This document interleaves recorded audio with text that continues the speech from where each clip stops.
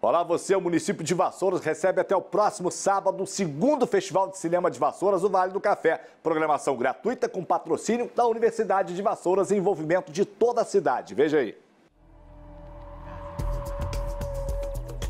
O comércio de vassouras se veste da sétima arte. Os restaurantes desenvolveram cardápios inspirados no cinema. Que tal um espaguete com almôndegas, a dama e o vagabundo? Todo mundo já se sentiu dentro do filme em algum momento com vontade de comer esse espaguete com almôndegas. E, claro, o festival é um presente para nossa cidade. O Festival de Cinema de Vassouras estimula o turismo, o mercado audiovisual e valoriza o cinema brasileiro. Este ano, o grande homenageado da edição foi o ator diretor Antônio Pitanga. Quando chega a 84 anos, mais de 80 filmes, você está sendo homenageado em vida, né? Esse amor que a cidade né, escancara suas portas para me receber, a minha história, a história do cinema brasileiro, é só alegria, né? Até o dia 24, a grande noite de premiação, o Centro de Convenções General Sombra recebe exibições de filmes, talk shows e podcasts em uma programação gratuita. E essa semana está recheada de muito filme.